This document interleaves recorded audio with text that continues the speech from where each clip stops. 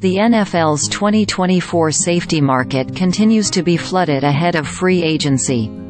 The Denver Broncos have released Pro Bowl safety Justin Simmons, NFL Network insider Ian Rapoport reported on Thursday, per sources informed of the decision. The team has since officially announced the news.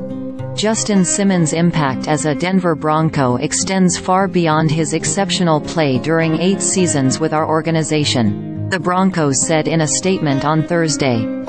Justin will always be a Bronco, and we thank him for the outstanding manner in which he represented our organization on and off the field.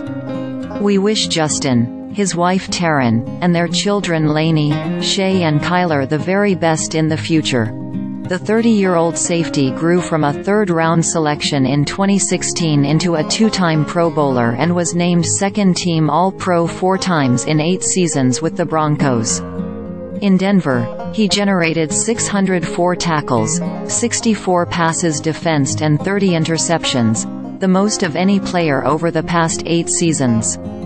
Cutting Simmons is a money-saving move for the cap-strapped Broncos, who must navigate a massive dead money figure from the eventual Russell Wilson release. Simmons was due to count $18.25 million against the salary cap.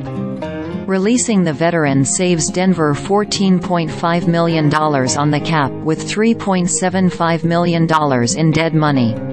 Simmons is coming off a down season by his standards, which included some uncharacteristic missed plays, but remains one of the top safeties in the NFL. A ball hawk, he should have no trouble finding a new home, Philadelphia immediately leaps to mind based on need and the presence of Simmons' former coach Vic Fangio taking over as DC. However, with a flood of veterans hitting the market, they could all eat into each other's earning potential.